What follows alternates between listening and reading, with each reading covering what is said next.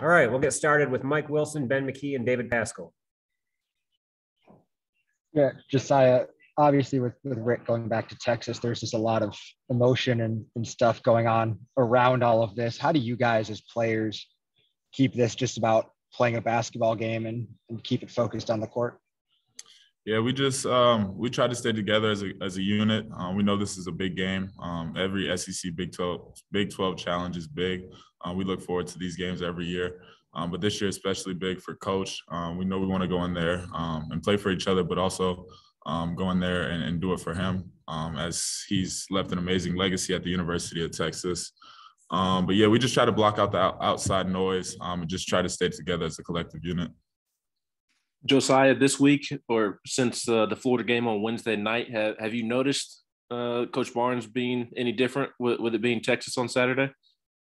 Nah, not not really. Um, nah, he he's the same in at, at day in and day out. So I haven't really noticed a change. Um, I talked to him about it just yesterday after film, just what his thoughts were. Um, but I mean, he's just really. I know he he knows they're gonna do a lot for him probably pregame, um, and then in the hours leading up to the game. But he's just trying to stay as focused as possible. I think he's doing a great job of doing that and just kind of treating it, even though it really isn't just another regular game, um, just trying to treat it as, as that. Josiah, this weekend's obviously different from the others. Do you take a lot of league pride in this in this weekend? Do you pull for other SEC teams, or sometimes is that tough pulling for some of your biggest rivals? No, it's definitely not. Um, I believe um, that the SEC is the best basketball conference in the league in, in the nation. So um, I'm definitely pulling for those guys. Um, every other school in the SEC uh, because it just makes our, our conference look better and then brings more excitement to our games. Go back to Mike and Grant. Yeah, Josiah, VJ's kind of had a rough maybe last month, and Coach Barnes talks a lot about just how much you guys all love him. How do you keep encouraging him and keep him engaged and, and being who he is around the team?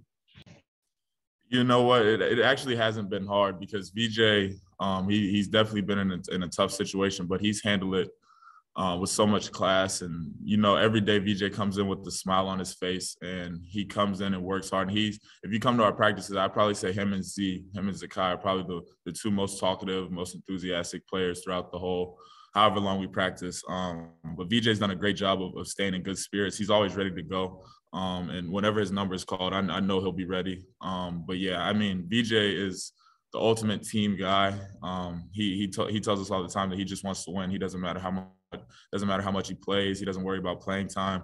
Um, and you can't ask for much more um, from anybody or from from a teammate um, than that. Josiah, since Kentucky, how pleased have you been kind of with the response of this team? And, and do you see this as a chance to, with the last three games and, and, what you guys got coming up to try to build some momentum? Yeah, definitely. I feel like we've um, found our identity. Um, still trying to find it. We still got a lot of a lot of areas of growth that we have to work on.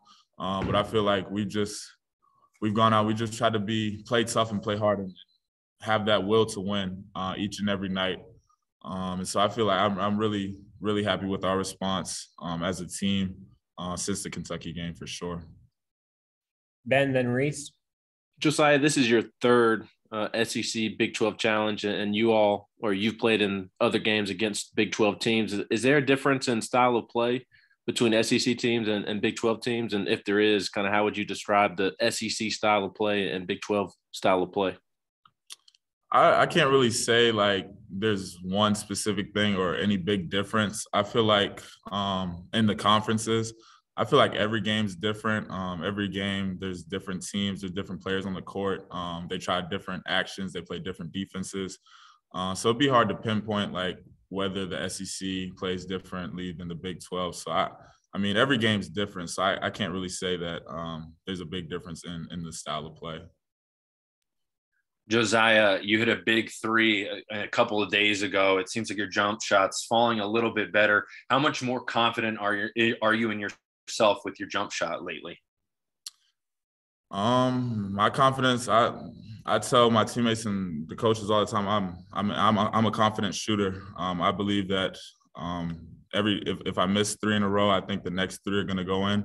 Um, but I've just tried to let my uh, let the let the offensive side come to me and try to pick my spots. Um, not trying to use qua- quality over quantity. Um, just trying to limit the amount of times. But if I'm if I'm making shots, then that's a different story. But just try to limit uh, the amount of tough shots that I try to take and, and try to get in rhythm open shots because um, that's what I feel like. That's when I feel like I'm at my best shooting the ball, and I feel like that's what that's what our team needs.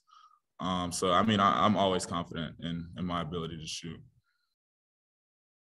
All right, Josiah, thank you very much. Thank you.